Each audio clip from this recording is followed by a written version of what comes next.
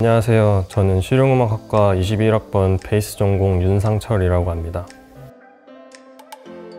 저희 실용음악과는 크게 보컬, 기악, 작곡, 싱어송라이터 4개의 전공으로 나뉘고 졸업 후 실용음악 및 대중음악 산업의 현장에서 경쟁력 있는 전문 음악인을 양성하는 것을 목표로 합니다.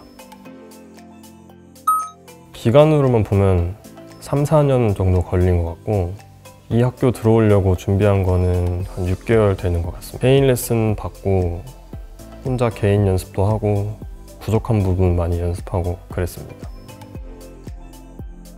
분위기는 굉장히 삭막한 것 같습니다. 대기실은 되게 삭막한데 막상 실기장 들어가면은 교수님들이 긴장하지 말려고 되게 편안한 분위기 만들어 주시는 것 같아요.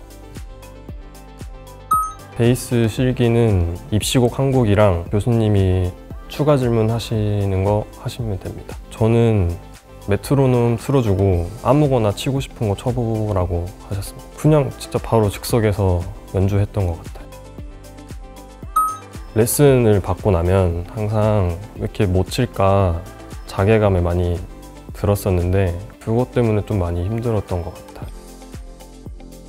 저는 제가 입시곡을 레슨 선생님이랑 같이 만들었어요. 근데 기악들은 자작곡으로 해도 돼요. 입시곡이 1분 내외여서 되게, 짧은데 그 짧은 시간 내에 어떻게 하면 자기 자신을 잘 표현할 수 있고 그리고 표현하면서 또 기본기가 탄탄한지 아니면 테크닉도 어느 정도 보여줘야 되고 그런 거를 생각하시면서 만들면 될 것 같습니다. 아니, 저의 장점을 많이 보여주려고 노력했던 것 같아요.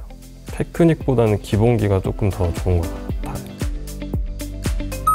자신감을 가지고 하셨으면 좋겠습니다. 떨어졌다고 해서 낙담하지 않고 다시 연습해서 좋은 결과 있었으면 좋겠습니다. 네.